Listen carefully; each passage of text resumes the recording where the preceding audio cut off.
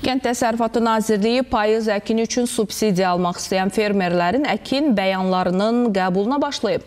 Elektron kənd təsərrüfatı informasiya sistemində qeydiyyatdan keçən fermerlər öz elektron kabinələrinə daxil olub, payız mövsümü üçün apardıqları əkin sahəsi, əkdikləri məhsul barədə məlumatı daxil etməlidirlər. Bu, fermerlərin 2020-ci ildən yeni qaydalarla alacaqları subsidiya üçün müraciət formasının əsas hissəsidir.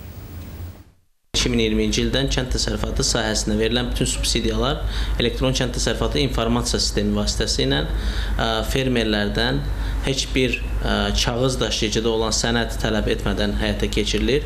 Yəni fermerlər öz ə, əşəcəkləri, torpaq sahəsi və hansı məhsullar əkirlər, bununla bağlı məlumatları elektron sistemə daxil eləyirlər və təbii ki, onlara subsidiya almaq məqsədi ilə verilmiş fermer kartlarına bu vəsaitlər köçürülür.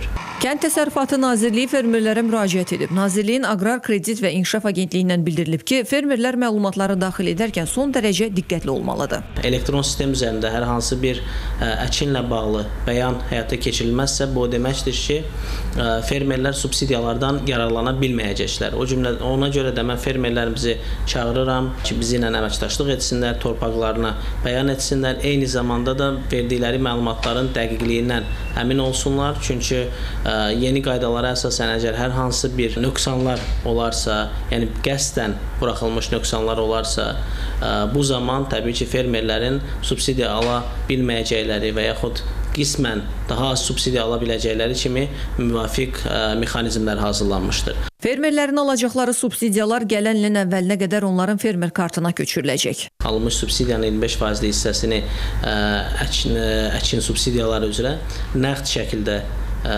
çıxartmağa və xərcləməyə, eyni zamanda qalıq hissəni isə müvafiq qaydada, ə, nağdsız qaydada xərcləmə imkanı yaradılır.